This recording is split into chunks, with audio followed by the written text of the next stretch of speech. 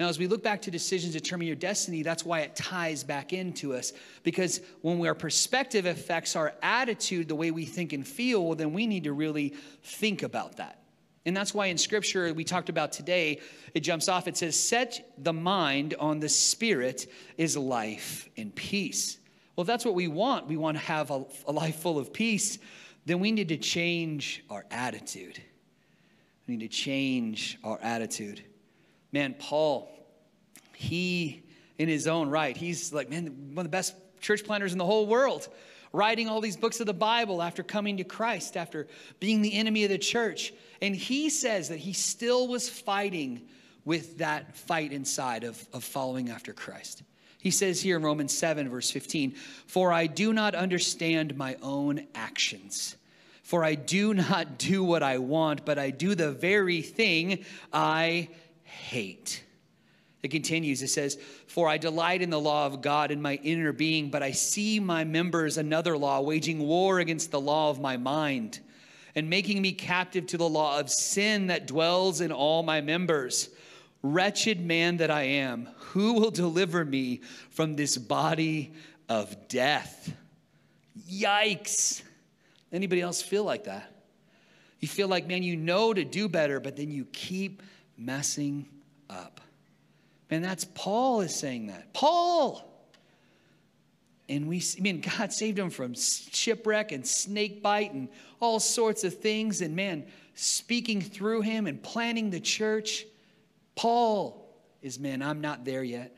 I'm on my journey following Jesus. And if that's him, then that's me and that's you too. And if we're looking at ourselves really in the mirror, really taking a hard, honest look at who we are, we realize that there are some attitudes that we need to have changed. You know, when I was growing up, my dad would be like, Boy, you need an attitude adjustment, which really meant I was in trouble. That's what that meant. But he was not wrong. I did need an attitude adjustment. How many people ever get that attitude going and it's just like it doesn't matter what's going on, you just have that attitude? How many people look at a two year old and you see that attitude and you're like, why are you acting that way? And then you, as a grown person, you're like, why am I acting this way? You wonder where they learn it from, right? I love this. It says, and we talk about this in Romans 6. Now, if we have died with Christ, we believe that we also will live with him. We know that Christ, being raised from the dead, will never die again. Death no longer has dominion over him.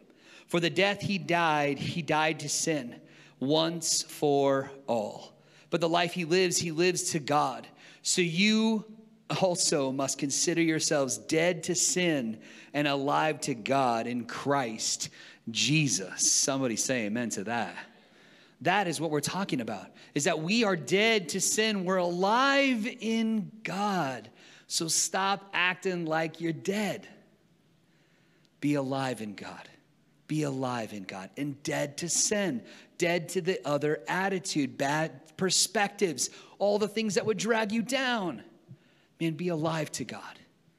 Let those decisions be proper because we have the right attitude.